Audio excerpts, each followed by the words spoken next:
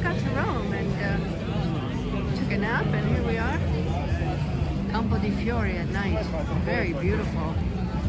There's Bruno, brooding Bruno I call him. He got burned alive in that uh, place right there and that's why they have this statue.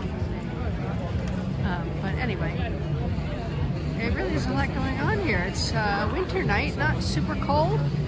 Uh, we're staying around the corner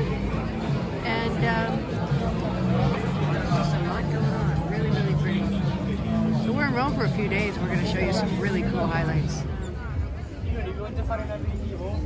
They got everybody out trying to pull everybody into these restaurants. There's so many delicious restaurants. Over there, isn't that the restaurant from Pompeo, the Teatro Pompeo, that restaurant there? Uh, it's around the corner there a little Ah. bit.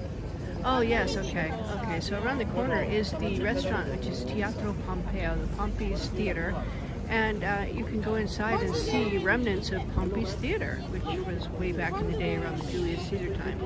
So uh, we'll probably eat there at some point. We found a place where you can get uh, spaghetti alla carbonara. We're gonna try that because we love it. And uh, Gigi's here. Oh, she found a little friend. Look, look how cute.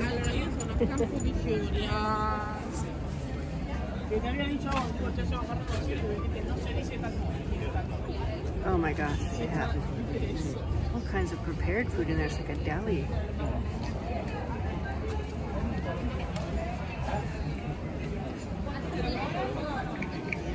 The sign that says Cane parking, you park your dog there.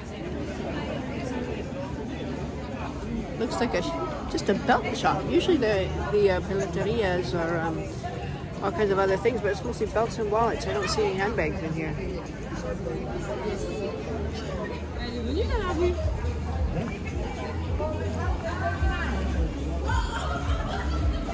I love these leather shops. They've got some of the prettiest purses. A little caveat on the purses. I don't know if you've seen our uh, video on uh, Pelletteria Moretti in Florence. Now what he did is he gave me a whole purse lesson on how to choose a great handbag. So you want to go find that video. I'm going to put a little thing up in the uh, I'm going to put a little flag up there so you can click on it and go see that. It's really educational, but also you get to meet a beautiful man and his beautiful business making and selling handbags.